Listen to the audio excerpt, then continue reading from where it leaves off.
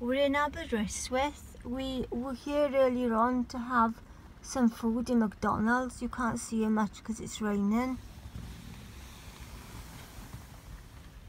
You've got um, next home over there, which we didn't go into. Behind that is a Hyundai garage and we parked outside on the street there. We've been to the Hyundai garage just to have a look we haven't been into town because you can see it's really bad weather. So we Andrew's come back here to get me an apple pie because I'm really cold and we're going to go down the beach. Andrew will read his paper. I'll play on my iPad. And then we're heading home early. So it'll be like a two hour trip when we when we head home.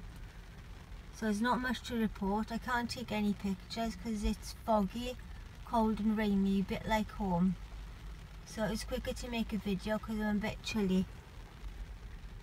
So, hope you're all well, speak to you soon.